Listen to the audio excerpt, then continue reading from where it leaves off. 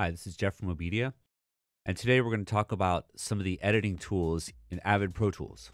First of all, we've talked briefly before about the basic tools. That's the zoomer, trimmer, selector, grabber, scrubber, and pencil tool.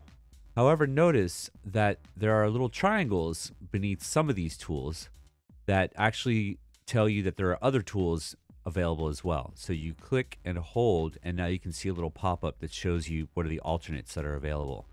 So here we have a couple on the grabber, we have some on the pencil, we have some. So let's go through these.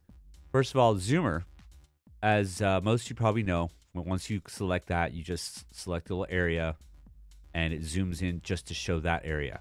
You can also click to zoom in then hold Alt or Option to zoom out. However, what if you only want to do one zoom and then go back to the tool you had before? Well, you just click single zoom, zoom, and then we're back. In this case, to the pencil, which was the last selected edit tool before we went to the zoomer. Moving on, let's check out the trim tool. So we all are familiar with the standard trimmer, which lets you trim in or out on the waveform of the clip that you happen to be editing. That's the regular trim. We also have TCE, which stands for time compression expansion. And what this does is lets you actually slow down or speed up the audio or make it happen in a shorter amount of time or a longer amount of time, depending on what you're doing. For example, a 30 second commercial. So with the time compression expansion zoomer, we would drag out and you can see it actually made it longer and slower. If we drag in, the clip becomes shorter and faster.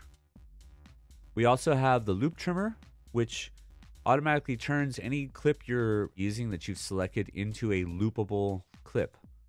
So I'm just constantly looping over and over and over again here. And you can tell where the loop starts and ends by these little loop symbols. Then we have the grabber. Standard grabber is called time grabber, which most of you are going to be familiar with. We have the separation grabber, and we'll use it with the smart tool select a bit with the selector, then you can just simply grab it out without having to do a separate clip function, meaning we cut the audio and then move it. So we can just grab it and move it away. Then we have object grabber, and this is how it works. If I happen to have made some separations here,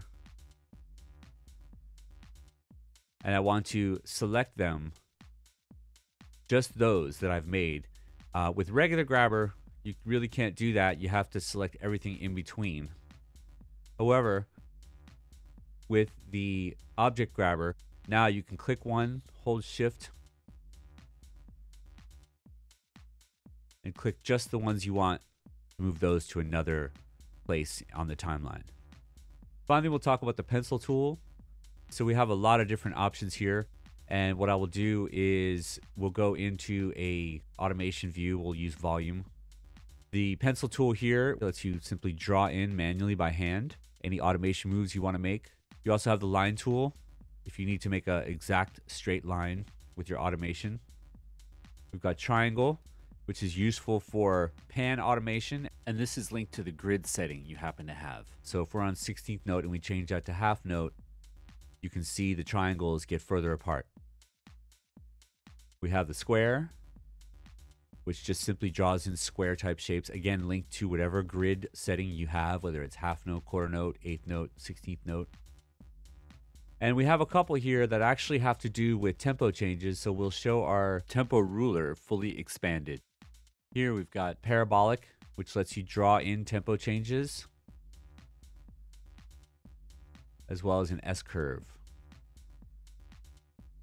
So these are some of the more advanced or alternative edit tools that are available in Avid Pro Tools. And really, anyone who uses Pro Tools on a regular basis should take advantage of them as they are very useful and help address a lot of different editing situations. So, thanks for checking out the video. This is Jeff from OBEDIA.